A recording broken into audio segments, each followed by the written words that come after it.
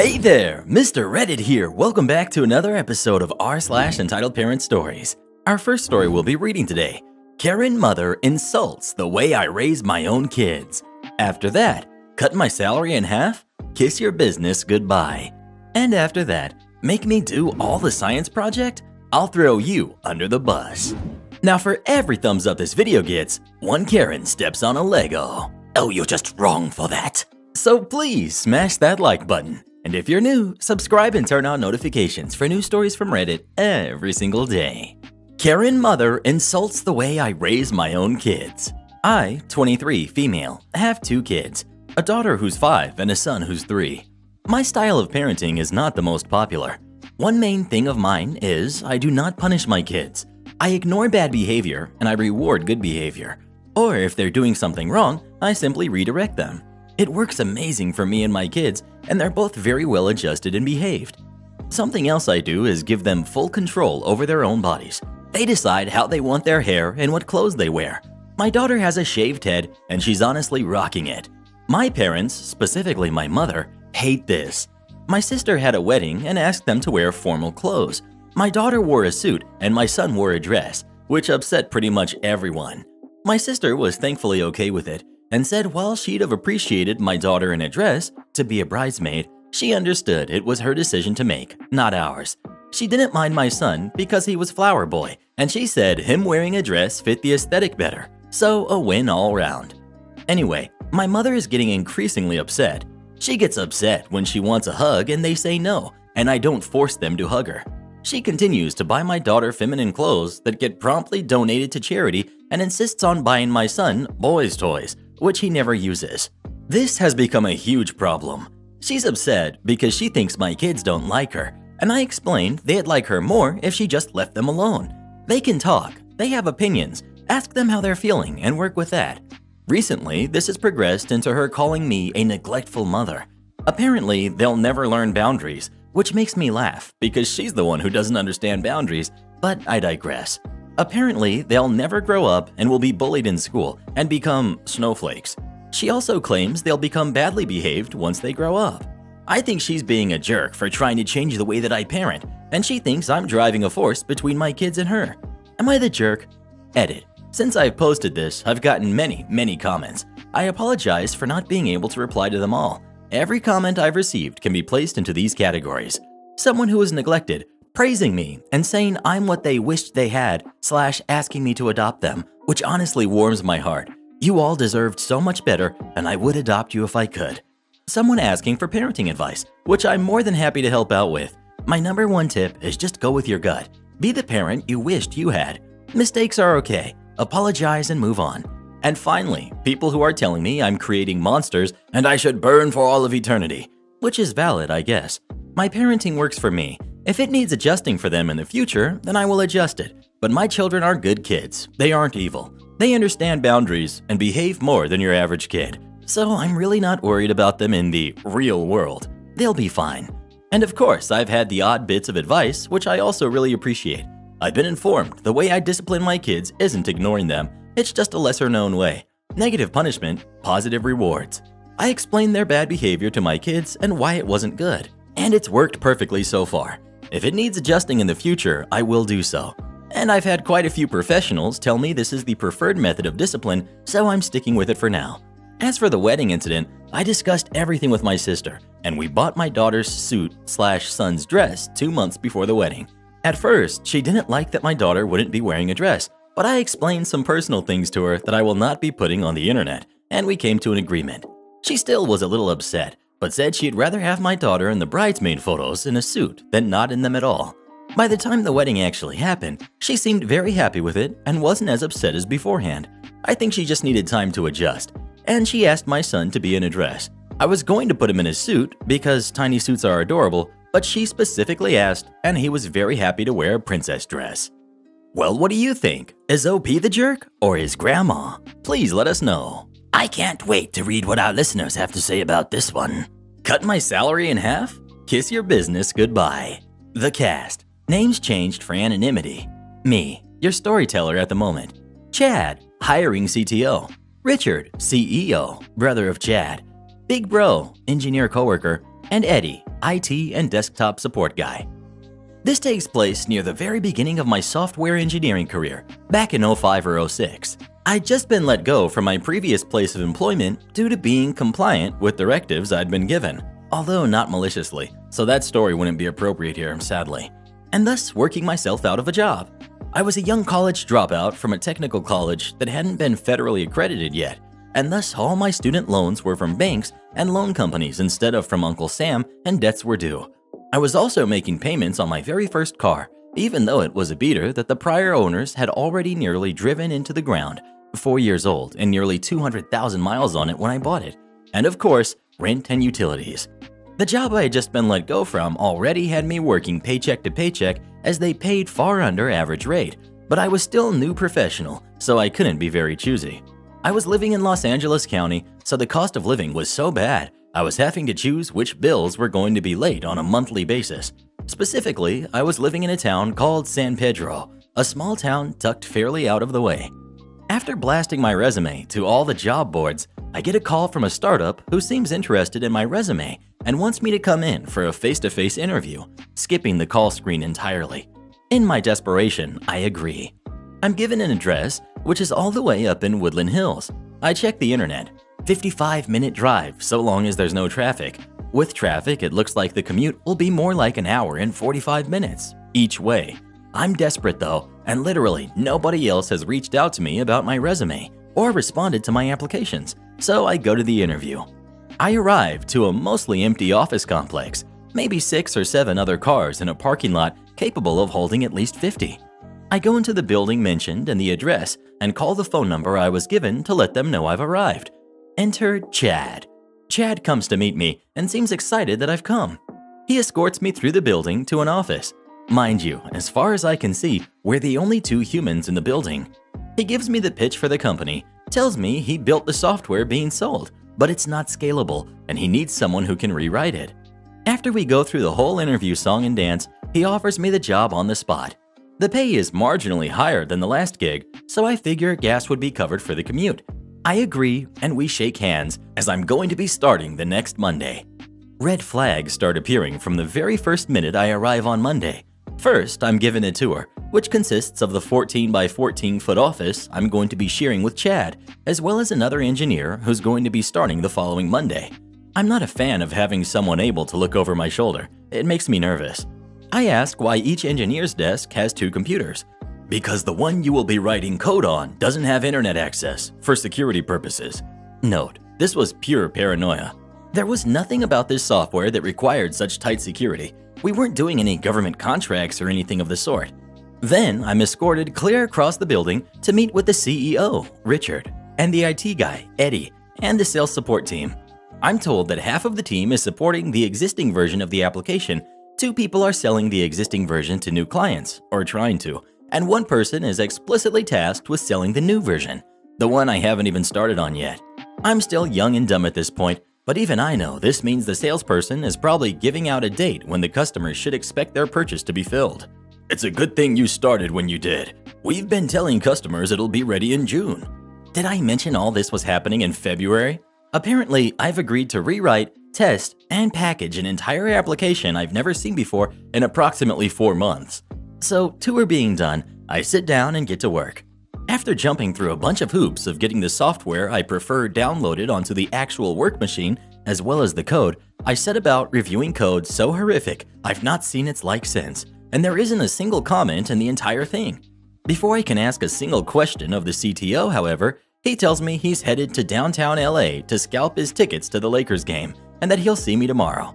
So, now I'm alone in the office with this abomination, a machine that's been hamstrung to heck and back and the only thing I've got to console me is the fact that at least I'm employed again. Fast forward a week, I've documented the bulk of the code because there wasn't any, and the boss and I do not get along. He's mad because I've not written any substantial code, and I'm frustrated because I'm trying to understand a lot of what specific code is trying to do, and he's routinely leaving around noon to go sell his tickets for Lakers games, or just not in the office because he's chatting with someone else. When he is in the office, I show him my documentation and try to get him to verify it or describe the purpose of code, where all I can say is, What? By the end of the week, I've covered about 30% of the project in a wiki like document. and I've taken to leaving after sunset so I can A. get more done, B. have a shorter commute, and C. drive when my car isn't an oven. The AC didn't work. I've barely managed to convince the CTO that what I'm doing is necessary, so the engineer starting the next Monday doesn't have to do anywhere near the same crap I've got, which would make us a more efficient team. Monday arrives and in comes Big Bro. I call him this because he was a much more experienced engineer than I was. We spend the first day with him getting set up, then us reviewing what I've documented. He manages to answer some questions the CTO never did, just because he is that much better, and I start to feel more confident. Over the next weeks, Big Bro took me under his wing as an engineer, teaching me best practices, standards, and where my plans were good and where they could be better. If it hadn't been for him, I'd have gone insane. I end up joining him outside for smoke breaks, even though I don't smoke, just so I can get a breath of non-office air. He and I discuss the project, and we also make friends with Eddie, who makes us laugh by telling us horror stories about the CTO and CEO. Apparently, he was a school friend of theirs and basically worked with them because they paid him to do something he felt was super easy. April rolls around. I've got a special occasion I need the day off for, which happens to be a Wednesday that year. I'd advised him when I first started, and he had been cool with it. I remind him on April 2nd, since I had an irrational fear of policy decisions being made on April Fool's Day, and he loses it. He goes off on a rant and straight up informs me that he regrets hiring me, claiming I didn't have the skills I told him I did and wasn't worth what I was being paid. We're definitely not halfway done, more like one third, and it's already been decided that June is a lost cause and that we're shooting for August now. That habit I started before of leaving after the sun went down, yeah, that never stopped. I was arriving at 9 a.m. every day and leaving around 10 p.m. every night, trying my best. Big Bro was the same, and Eddie would stay late with us just because we liked hanging out together. So it should be understandable that I was very close to losing it right back at him. In a strained, yet diplomatic voice, I told him that if he put in the same amount of work to help us as we put in to rewrite his code, we'd probably be a lot closer to done than we are, especially given the 12-hour days. He was not a fan of that and switched to straight up yelling, blaming us for the lost sales and refunds due to the delays, and that the only way he'd get off of our backs was by getting the project done. This entire time, Big Bro is just sitting there and says nothing to back me up. Chad then left the office for a bit, and I just declared I was taking my lunch and would be back in an hour.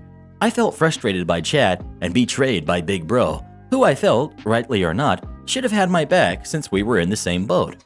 When we were both back in the office, he apologized for yelling and told me that since he agreed when I was hired I could have my day off. Cool, I apologized too, although not for anything specific.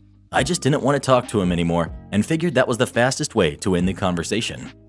Fast forward to June and the opportunity for malicious compliance. Over the last two months, Chad has been getting worse and worse. He's yelling nearly every day and still leaving early too. Big Bro and Eddie are also feeling the pain. Nobody is safe from his ego. The smoke breaks in afternoon slash evening portion of our day are when we're most productive, as nobody can focus until Chad leaves. The first Monday in June rolls around, and Chad invites me to go on a walk outside for a one on one meeting. I figured I'm being fired. At this point, we've had to refactor the rewrite almost entirely due to missing a critical chunk of functionality, and we're still only 60% done. August release is looking less and less sure. Chad informs me that he's hired a third engineer, but in order to stay in the budget to pay me, he's cutting my salary in half. I stop on the spot and just give him a blank look. Are you serious? I ask. I'm barely able to pay for my bills and the gas required to commute here as it is. If you cut my salary at all, I won't be able to afford to live. At this point, the idea of cutting my productivity to help ramp up a new engineer so he can help us meet the deadlines doesn't even occur to me. Although in hindsight, that would also have been a pretty major issue. Chad brushes me off. That's not my problem. The fact that you missed one deadline and look like you're gonna miss another is. If you've got a problem with that, you're more than welcome to go find another job. The new guy starts in two weeks. And with that, he walked inside. I'd just been told that I had two weeks left of job at my current salary. Cool. So that day I do something I hadn't done since I first started. I left while the sun was still up. Specifically, I left at 5 p.m. I drive my oven car, no working air conditioning in a car that had been left in the sun all day in Woodland Hills had me feeling like a baked potato. Through traffic, hour and a half commute home through LA heat, and updated my resume before reactivating my accounts on all the job sites. I'm contacted the next day by a potential new employer and I get an interview scheduled. I decide to tell Big Bro about the new opportunity and he hits me with news that lets me know just how small a world we live in. Me, hey, Big Bro, just for your information, I've started looking for a new job. I've already got an interview lined up. Big Bro, really? Where? Me, over at this company. Big Bro, wow, that's where I worked before I came here. That place is pretty awesome, and I left there on pretty good terms. I know the CTO there. Go ahead and use me as a reference. Me, skeptical. Really? Okay. Turns out Big Bro was true to his word, and the CTO and I even talked about Big Bro during the interview.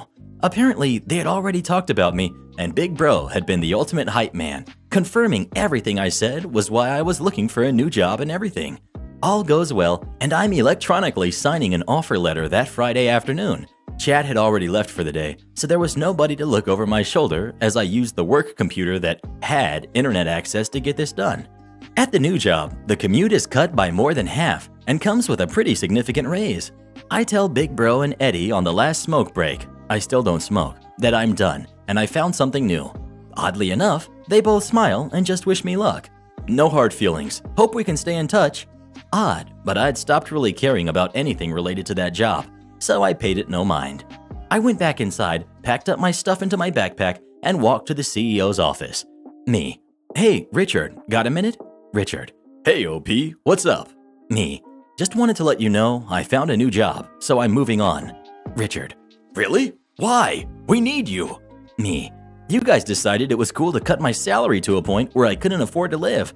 Chad said if I didn't like it, I should look for something new. So I did. Richard, looking defeated. Well, when's your last day? Me.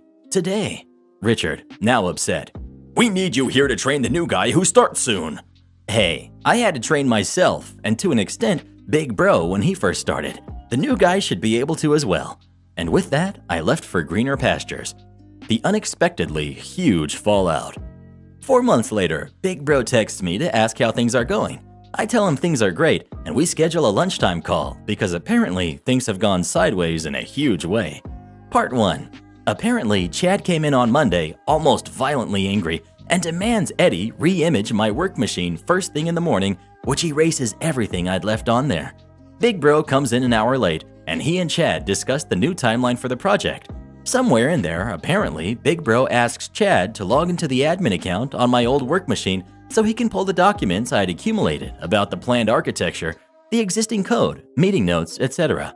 Chad answers by apparently punching a hole in the wall and leaving for the day, probably to go to the hospital to deal with his hand, at 10.30 in the morning. Big Bro then spends the rest of that week ostensibly working on recreating the documentation from scratch. Part 2 when I asked how the new guy handled the new documentation, Big Bro laughed and told me there never was any documentation. Apparently, he and Eddie had become really good friends in the months we worked there, to the point where they had become roommates about a month before I left. More than that though, they decided to start a freelance slash consulting business together and only had to decide on when to make that their full-time jobs.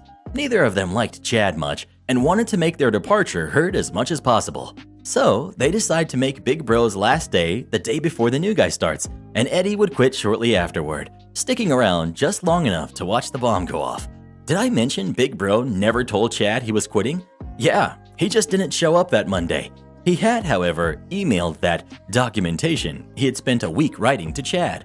Turns out he wasn't documenting the code at all. He had spent a week writing a letter explaining in excruciating detail why Chad was such a bad boss and he had emailed it to everyone in the company. I asked if he still had it so I could read it, and he sent it to me after the call. Thankfully, like the big helper he was, Eddie had ensured that the new guy's email was set up and in the proper groups before the email was sent. So the guy's first email in the company was a novella about the kind of person he had agreed to work for. Apparently, Chad thought it was appropriate to take his frustration out on the new guy, who'd already read a significant portion of the email before Chad shoved him away from his desk and deleted it.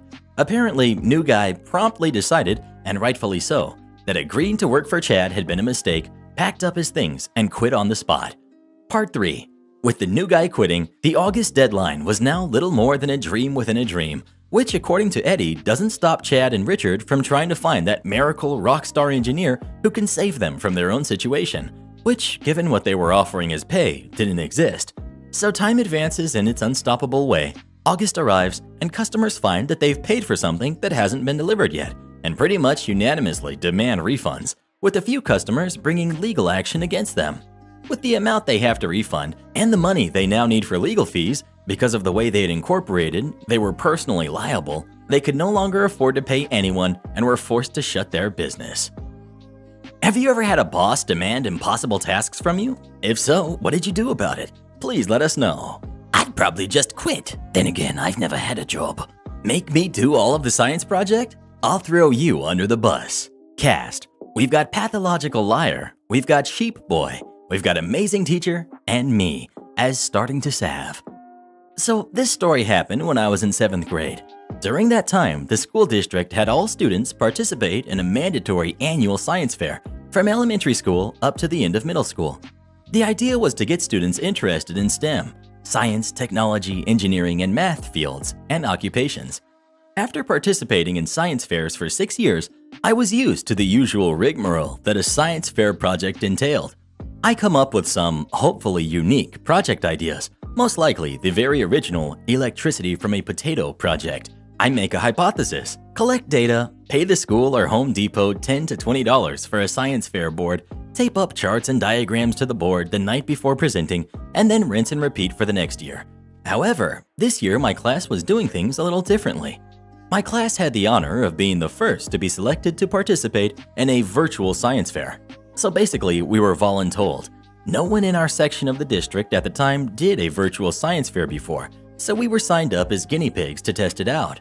If that wasn't good enough, my class also had to promote healthy collaboration among students, so we were assigned to do projects in a group. Now, I hate group work. I always got the short end of the stick in a group.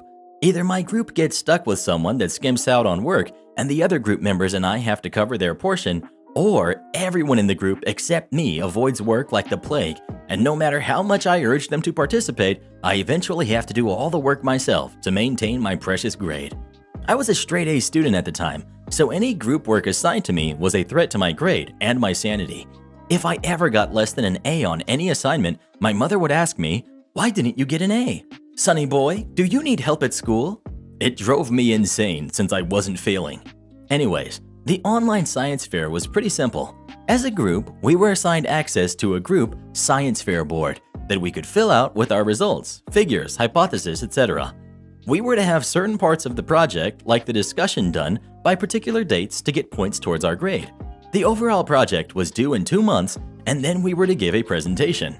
Amazing Teacher was brilliant. She wanted us to record our project progress in a composition book in tandem with the online portion which she would review during our presentation in two months. I believe this was to help us keep track of notes in case we forgot to log them into the computer later, but it was used by me as a tool in my revenge. I was paired with Pathological Liar and Sheep Boy, who I was kind of friends with. We brainstormed and settled on testing the performance of an individual in exercise before and after they drink an energy drink. This was in part influenced by Monster Energy Drink just becoming popular, and Sheep Boy's parents getting a new home gym. I thought it was great since I was playing football at the time and wanted to work out more. Also, Pathological Liar, Sheep Boy, and I literally shared every class together and lived within a mile of each other, so it would be super easy to communicate. However, Sheep Boy and Pathological Liar never seemed to want to talk about the project. After two weeks of radio silence from Liar and Sheep Boy, I finally corralled them in one place and suggested we meet up at Sheep Boy's house that weekend to start the project. On the day of the meetup, Sheep Boy's mom had to go grocery shopping or something, so Sheep Boy was out. Undaunted, I told Pathological Liar it would be fine if we work at my house and researched other studies on it to get the ball rolling. But Liar never showed up that day, so I decided to confront him on our walk home from school the next day. Oh my god, if you heard what came out of this boy's mouth as an excuse. While we were literally within spitting distance of my house, Liar said he couldn't come over yesterday or today because his grandparents had got into a plane crash. I was flabbergasted and exclaimed, What? Really? But I didn't see anything on the news about a plane crash. Pathological Liar responded indignantly. Plane crashes happen all the time, starting to salve. They're not all going to get reported on. Their plane struck another plane on the tarmac and then rolled over and snapped off both wings. Me, insert surprised Pikachu face. OMG, I'm so sorry. Did they get hurt? Liar. What? No, why would they, idiot? Anyways, I can't do the project this week. See ya. This little jerk then ran home. After I got home and deduced that he had just fed me a sack of lies, I just said whatever and filled out the preliminary sections of the project and wrote notes in the composition book to at least ensure we had something to turn in next week. I was willing to give the group a second chance, because maybe their busy middle school lives were swamped. After another two weeks of attempting to coordinate my group and getting them to at least contribute a page or two to the report, we finally decided to meet up at Sheep Boy's house again to start collecting the data. We actually all showed up this time, and Sheep Boy's mom had bought the monster energy drinks we needed. Pathological Liar started to guzzle them because he wanted to test out the drinks first. Sheep Boy showed off his new home gym and then got us to play Smash Brothers for half an hour. I didn't want to play at first, but then decided to lighten up and we could do the tests afterward. After coaxing my group back to the gym, Pathological Liar just rambled and chit-chatted. Me, trying to be pragmatic, said, Hey guys, why don't we start our exercise now and record some data? And then afterward, I can school y'all in Smash Brothers. Sheep Boy looked willing until Liar sighed out. Oh my god, starting to salve. we didn't invite you out to do this stupid project. We invited you to hang out. Sheep Boy's attitude did a complete 180, chiming in, Yeah, we don't want to do the stupid project now. I was seething. Pathological Liar spouted a load of bull. This wasn't even his house. I was the one who organized this get together to collect science data for the fair. I was the one herding these sheeple around. OMG. The second chance I gave them was taken and then stomped all over the ground, and they weren't getting a third one. I relented and said, Okay then, let's just hang out then.